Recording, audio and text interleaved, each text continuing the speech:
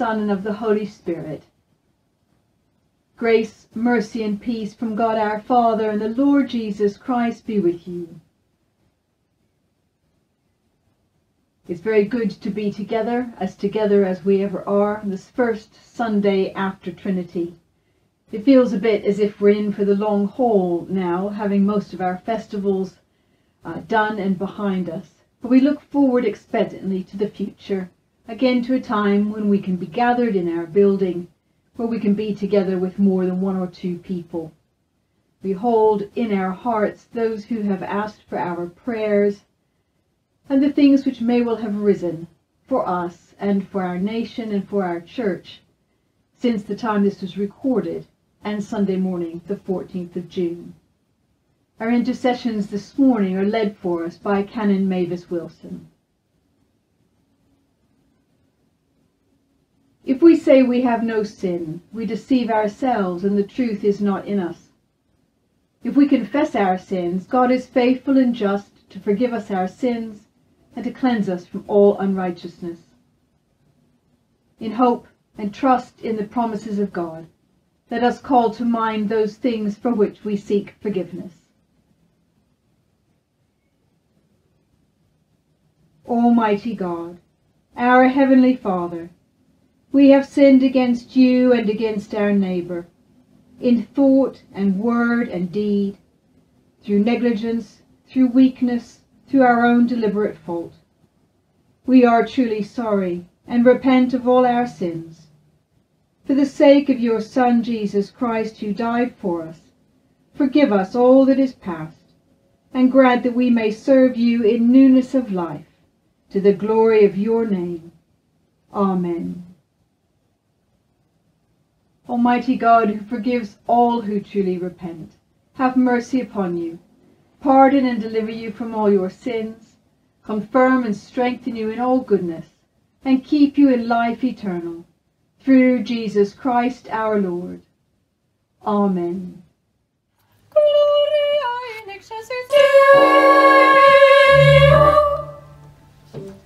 Et in terra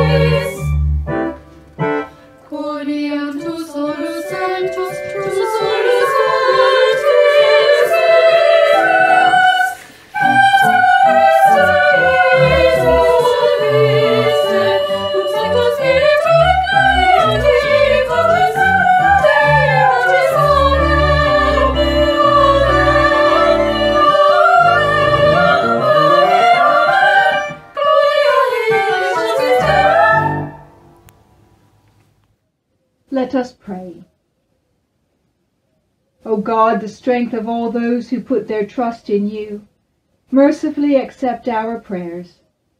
And because through the weakness of our mortal nature we can do no good thing without you, grant us the help of your grace, that in the keeping of your commandments we may please you both in will and deed.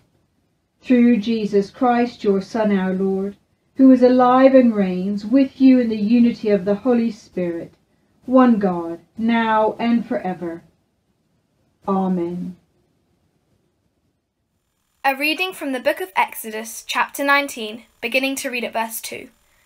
They had journeyed from Rephidim, entered the wilderness of Sinai, and camped in the wilderness. Israel camped there in front of the mountain. Then Moses went up to God. The Lord called him from the mountain, saying, Thus you shall say to the house of Jacob, and tell the Israelites, You have seen what I did to the Egyptians, and how I bore you on eagle's wings and brought you to myself. Now Therefore, if you obey my voice and keep my covenant, you shall be my treasured possession out of all the peoples. Indeed, the whole earth is mine, but you shall be for me a priestly kingdom and a holy nation. These are the words that you shall speak to the Israelites. So Moses came, summoned the elders of the people, and set before them all these words that the Lord had commanded him. The people all answered as one Everything that the Lord has spoken, we will do. Moses reported the words of the people to the Lord. This is the word of the Lord. Thanks be to God.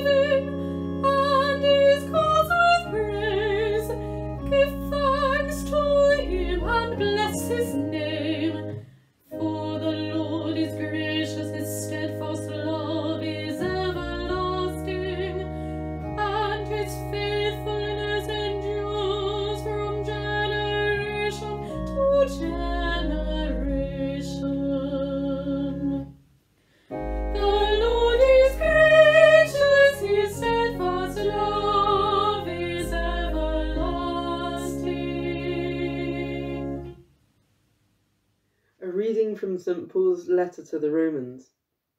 Therefore, since we are justified by faith, we have peace with God through our Lord Jesus Christ, through whom we have obtained access to this grace in which we stand, and we boast in our hope of sharing the glory of God.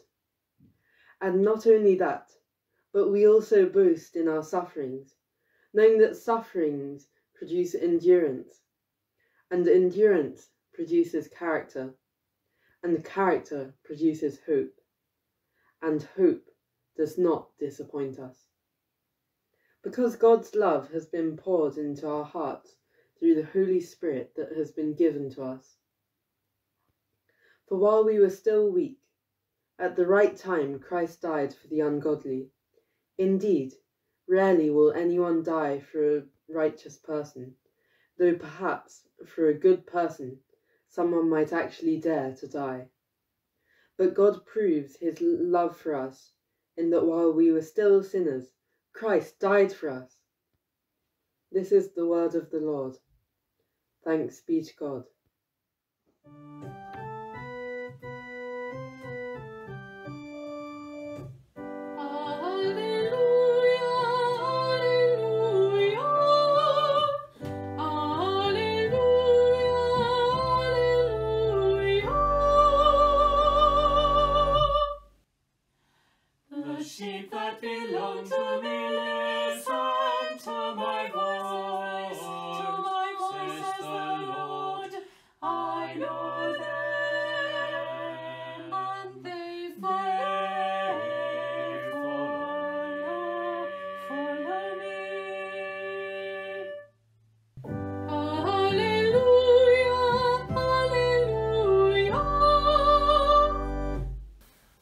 Hear the gospel of our Lord Jesus Christ according to Matthew. Glory to you, O Lord. Then Jesus went about all the cities and villages, teaching in their synagogues and proclaiming the good news of the kingdom and curing every disease and every sickness. When he saw the crowds, he had compassion on them, because they were harassed and helpless, like sheep without a shepherd. Then he said to his disciples, The harvest is plentiful, but the labourers are few. Therefore ask the Lord of the harvest to send out labourers into his harvest. Then Jesus summoned his twelve disciples and gave them authority over unclean spirits to cast them out and to cure every disease and every sickness. These are the names of the twelve apostles. First Simon, also known as Peter, and his brother Andrew. James, son of Zebedee, and his brother John. Philip and Bartholomew. Thomas and Matthew the tax collector. James, son of Alphaeus, and Thaddeus. Simon the Cananaean, and Judas Iscariot, the one who betrayed him. These twelve Jesus sent out with the following instructions Go nowhere among the Gentiles, and enter no town of the Samaritans, but go rather to the lost sheep of the house of Israel. As you go, proclaim the good news the kingdom of heaven has come near. Cure the sick, raise the dead cleanse the lepers, cast out demons. You received without payment, give without payment. Take no gold or silver or copper in your belts, no bag for your journey, or two tunics or sandals or a staff, for labourers deserve their food. Whatever town or village you enter, find out who in it is worthy and stay there until you leave. As you enter the house, greet it. If the house is worthy, let your peace come upon it, but if it is not worthy, let your peace return to you. If anyone will not welcome you, or listen to your words, shake off the dust from your feet as you leave that house or town. Truly I tell you, it will be more tolerable for the land of Sodom and Gomorrah on the day of judgment than for that town. See, I am sending you out like sheep into the midst of wolves. So be wise as serpents and innocent as doves. Beware of them, for they will hand you over to councils and flog you in their synagogues, and you'll be dragged before governors and kings because of me as a testimony to them and the Gentiles. When they hand you over, do not worry about how you are to speak or what you are to say, for you are to say what will be given to you at that time. For it is not you who speak, but the Spirit of your Father speaking through you. Brother will betray brother to death, and a father his child, and children will rise up against their parents and have them put to death. And you will be hated by all because of my name. But the one who endures to the end will be saved. When they persecute you in one town, flee to the next. For truly I tell you, you will not have gone through all the towns of Israel before the Son of Man comes. This is the gospel of the Lord. Praise to you, O Christ.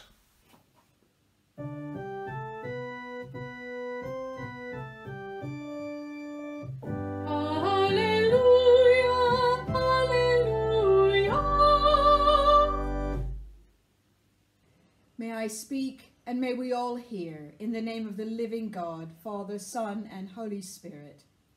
Amen. Suffering produces endurance, endurance produces character. Character produces hope, and hope does not disappoint us. Suffering, endurance, character. What rich feelings these words bring to our attention. Sufferings come close to each one of us, although it's taken different forms, of course. We're all different. Endurance is being shown by everyone as we lived by the guidelines and by the law, depriving ourselves of much of which we value, much of which makes us us. And that's before we even call to mind those who've died and their loved ones, those who are putting themselves in harm's way for the good of others, those engaged in medical research, the endurance they require every day to keep going with the hard slog of research, trial and error, adaptations, more trial and error, in order to understand this pandemic better, to develop potential treatments or vaccines. And we haven't even begun to consider schools, the economy, worship, and so on. We're all enduring something. When we consider suffering and endurance, examples are readily available perhaps. We can think of the people who are suffering or those who are enduring. But what about when we consider character? I wonder if, like me, we're more likely to think of a specific person when we think of character, someone who we know personally. Or could be someone in the public eye or a historical figure. But we're most likely to be able to name those among our own acquaintances, family, and friends as developed character. The people who we admire are those who shine in a way which makes us look up to them or want to imitate them. Character is, Paul wrote to the Romans, often part of the fruits of suffering and endurance. Character is produced as well as honed through testing. It's interesting just to note that character is less likely to be part of a description of a very young person, unless, of course, they've experienced their own suffering. We ask ourselves, though, does all suffering produce endurance? And is character always a fruit of that endurance? Clearly, not all suffering does produce endurance. Sometimes suffering produces bitterness. Sometimes it produces cries for retaliation and revenge. And sometimes suffering produces an inward focus which just eats away at the center of a person. I'm struck by those who've experienced great suffering at the hands of others, but refuse to give in to cries of revenge or retaliation. They choose to move forward, sometimes forgiving and sometimes not, but they become determined not to be defeated by the suffering this is clear endurance. But there's the endurance also that just weighs people down and produces not character, but bitterness and a self focus that's not helpful. In Paul's letter to the Romans, he was writing to a people who were then or would shortly be experiencing suffering for their faith. He began the line of thought that we heard in our second lesson by writing this we're justified by faith. We have peace with God through our Lord Jesus Christ, through whom we have access to the grace in which we stand. This is the context he maps out when he then writes that suffering produces endurance and endurance character. It is within the context of the grace of God. We often overlook this small but so important word. Grace is the English translation of the Greek word charis. It's God's free giving, not of a thing, but a transformation. The Greek fathers boldly called this theosis, a transformation of the whole of life. That is grace, not a thing, but a who. God's giving fully of himself so that we can know God and know that relationship. And it's one which is totally undeserved. God's grace, that is the power we're given through transformed lives, is the context within which suffering can produce endurance. Endurance can lead to developed character, and the character produces hope which cannot disappoint. This happens even when it feels only painful. Of course, we know that suffering is part of the human condition. It's not what we suffer, but it's how we suffer. St. Paul suggests that it's only within the relationship of God's grace that suffering can have its right effects. Suffering, endurance, character, and hope. And hoping is not wishing. Wishing is wanting or desiring something. Hoping is having confidence in the real possibility of fulfillment. Wishing focuses on the thing wished for. Hoping is confidence placed in that which can bring it about. This hope doesn't disappoint. Because as Christians, we don't hope for things, we place our hope in God. It's God who's the object of our hope, and that hope doesn't and cannot disappoint. We grow in faith just as we grow physically and intellectually and emotionally. When young in faith, we may pray, as we did as children, for things, for a specific object, for a bike, or a toy, or a holiday. Then we grow into people who learn how to pray for people in difficult situations, things which don't have an instant answer or the outcome we might wish. We grow in an understanding that praying is a relationship, a conversation in which we do more listening than speaking. And as we do this, we see more and more of the God in whom we place our hope. So, from the object of prayer being something we wish for, the object of prayer becomes the one in whom we pray, that loving God who gives us grace.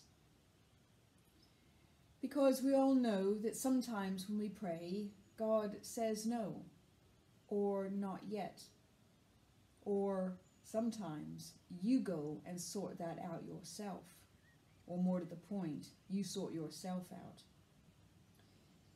Even in those times, we have hope in God. We're disappointed that the outcome wasn't as we'd expected, but our hope has not been diminished. Suffering produces endurance, which is either life giving or life defeating. With hope, it can be life giving. Endurance produces character, shaped by an awareness of God's grace. Character which is hopeful, honest, and may be an example to others, even in the face of extreme hardship and pain. I once heard Desmond Tutu describe Christians as being imprisoned by hope imprisoned by hope. The context, I think, was a discussion about Zimbabwe and the future. Things were bleak, and of course they still are. He suggested that Christians were a necessary facet of life moving forward in a positive way for the people of Zimbabwe, because Christians are imprisoned by hope. There's nothing else that Christians can do. Christians hope. They hope in God. And our hope is founded in God who, as the risen Christ, has taken all humanity to himself, the suffering and the endurance and the character. And God gives it back to us as grace. God doesn't send suffering, and we must never think this. God doesn't send suffering so that it produces endurance and hope is the outcome. Suffering is part of the human condition. And like with so much of life, it's what we do with it. Christians make an outrageous claim, and it's this that suffering produces hope. Suffering and hardship and pain will not have the last word. Suffering, hardship, and pain will not defeat the human spirit. They will not remove the hope which cannot disappoint. Because we place our hope in God even when it feels fleeting. And this hope is outrageous as well as it's glorious. And of course, God's love is outrageous in that He proved it that while we were still sinners, Christ died, rose, and is alive for us. That is an outrageous claim. Suffering, endurance, character, hope. We give thanks to God for those people who show us all these things. And of course, we pray that when we ourselves suffer, we may know ourselves held in the grace of God and so can endure. That our character will be developed in all honesty. And above all, that we would place our hope in God. God does not disappoint. Let us pray. Lord God, your Son Jesus Christ showed us the path of suffering and endurance. Give us the same honesty and openness, giving our cares to you, so that as we suffer, we may also endure. And as we endure, please so shape our character that we can allow others to see you, the source of all grace and faith, the one in whom we hope. Amen.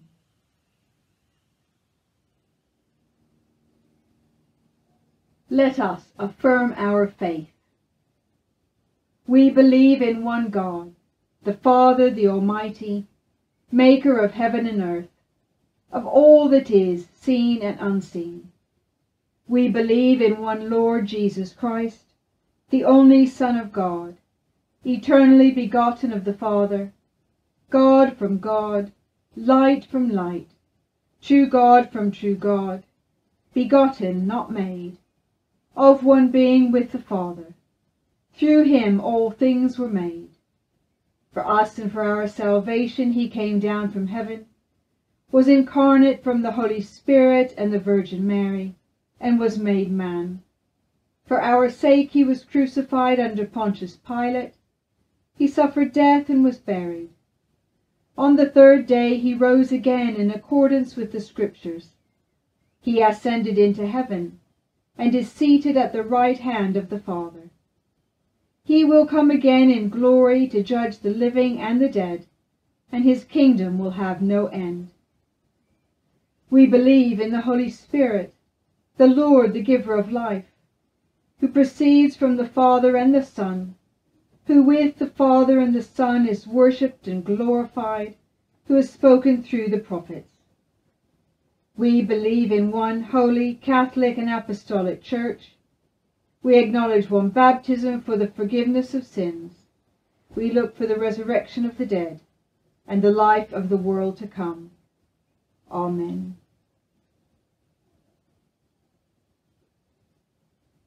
Lord our God, as we continue in this time of transition and uncertainty, give us grace to recognize your presence with us and your Spirit leading us. As a community of faith, keep us faithful in prayer and reading of Scripture, united in fellowship, and deepening our care for one another, as we find imaginative and gracious ways of being in touch. Lord, hear us, save us, and help us as we continue in this time of transition and uncertainty. We pray for our leaders that they may have strength, resilience, and commitment to the common good. Strengthen our archbishops, our bishops in this diocese, Andrew and Jo, all clergy, lay leaders, and those who work with them. Strengthen them in spiritual leadership and discernment, in word and in action. We pray that our government may lead us and communicate in ways which inspire trust. We pray for the opposition that they may offer positive insights as they hold the government to account and we ask for your continued strength for those whose work is mainly unseen, for the civil service, for managers in the NHS, for those who organise the logistics of our transport and food deliveries. We give thanks for the recognition of new key workers and pray for all that they do with thanksgiving as a society deepen our commitment to the good of all. And as we look across the Atlantic to the United States with sorrow, pain, and strife, help us to see the mote in our own eye and to turn away from all racism and prejudice, recognizing all people as your children created in your image. Lord, hear us, save us, and help us. As we continue in this time of transition and uncertainty, as spring moves into summer, we pray for farmers and market gardeners anxious about the harvesting of their crops. We remember all those in the fishing industry, all naturalists and conservationists, and those who prepare and deliver our food. As talks continue with the European Union, we pray that they may result in the continuing supply of good and safe food and in the care for the environment which we all share. Lord, hear us, save us, and help us. As we continue in this time of transition and anxiety, we pray for all who are struggling to cope, for NHS staff who are exhausted or traumatised, for all who have had extra work during the time of lockdown, especially parents trying to work and also attempting to home educate their children. Watch over and heal, we pray, people still in intensive care. Give peace to those who are lonely or anxious about the what, what the future will be like and give us all vision and hope that we may change our lives for the better as the result of these experiences. Lord, hear us, save us, and help us. We pray for all who have died in the faith of Christ and those whose faith is known to you alone. At this time, giving thanks for the life of Les Harfield and we pray for your comfort and healing blessing on his wife and family. Grant us with them, we pray, a share in your eternal kingdom. Lord, hear us, save us, and help us.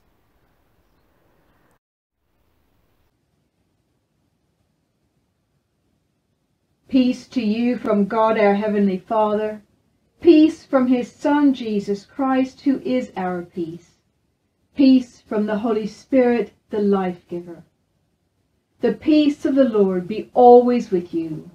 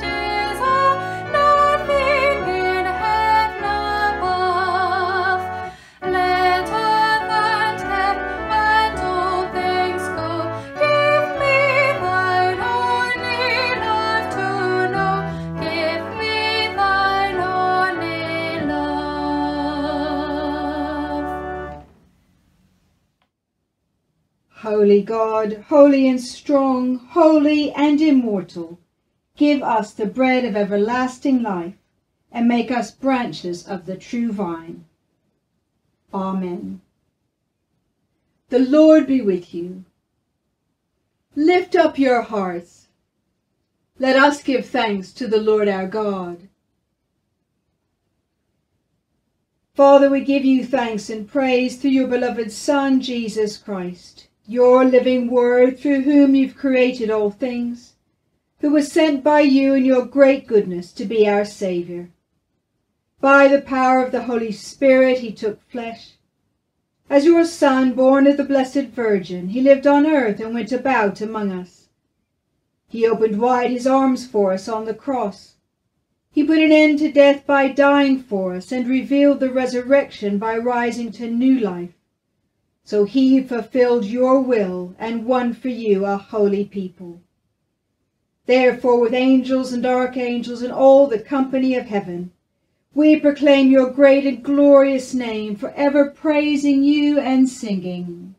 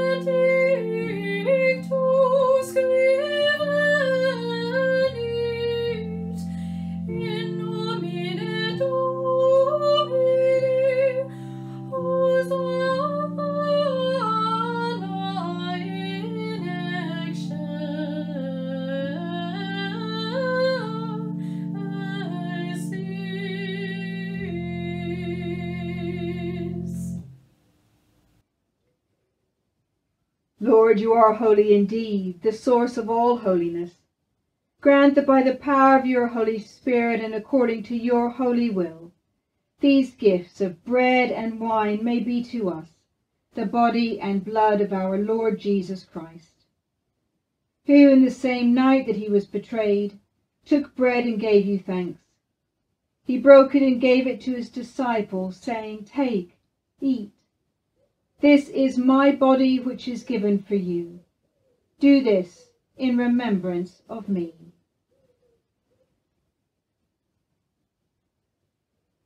In the same way, after supper, he took the cup and gave you thanks. He gave it to them, saying, Drink this, all of you. This is my blood of the new covenant, which is shed for you and for many for the forgiveness of sins. Do this as often as you drink it, in remembrance of me. And so, Father, calling to mind his death on the cross, his perfect sacrifice made once for the sins of the whole world, rejoicing in his mighty resurrection and glorious ascension, and looking for his coming in glory, we celebrate this memorial of our redemption. As we offer you this, our sacrifice of praise and thanksgiving, we bring before you this bread and this cup, and we thank you for counting us worthy to stand in your presence and serve you.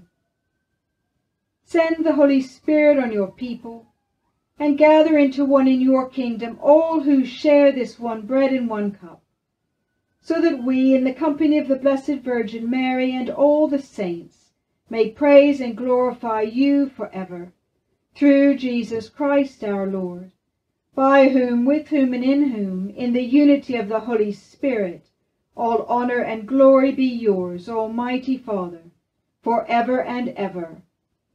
Amen.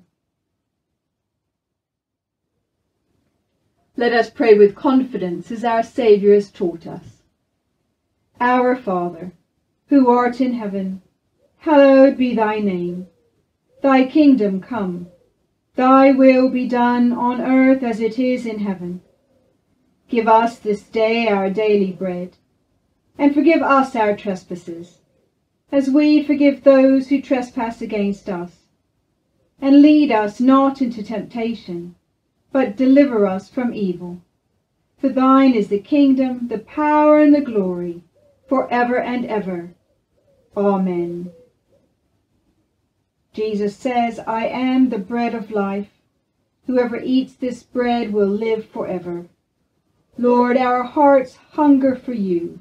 Give us this bread always.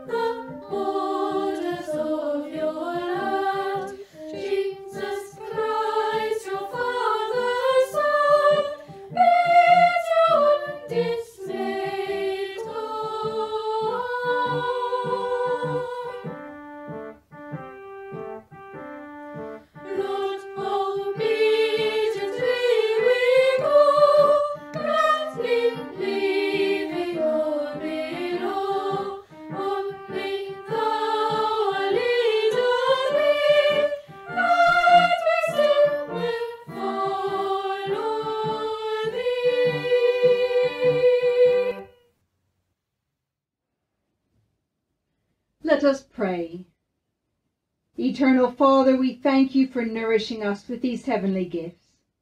May our communion strengthen us in faith, build us up in hope, and make us grow in love. For the sake of Jesus Christ our Lord. Amen. The peace of God, which passes all understanding, keep your hearts and minds in the knowledge and love of God and of his Son, Jesus Christ our Lord.